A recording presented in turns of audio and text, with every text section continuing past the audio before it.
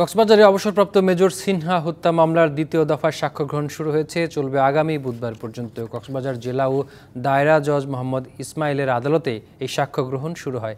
এর আগে সকালে কড়া নিরাপত্তায় কক্সবাজার জেলা কারাগার থেকে মামলার পনেরো আসামিকে আদালতে আনা হয়। এর আগে তেইশ থেকে পঁচিশে আগস্ট টানা তিন দিন মামলার এক নম্বর সাক্ষী ও বাদী শারমিন শাহরিয়া ফেরদৌস ও দুই নম্বর সাক্ষী শাহেদুল ইসলাম সিফাতের সাক্ষ্য গ্রহণ শেষ করেন আদালত। গত বছর একত্রিশে জুলাই রাতে কক্সবাজার টেকনাফ মেরিন ড্রাইভ সড়কের টেকনাফ উপজেলার ভাড়সরা ইউনিয়নের শামলাপুর চেকপোস্টে পুলিশের গুলিতে নিহত হন সেনাবাহিনীর অবসরপ্রাপ্ত মেজর সিনহা মোহাম্মদ রাশেদ খান।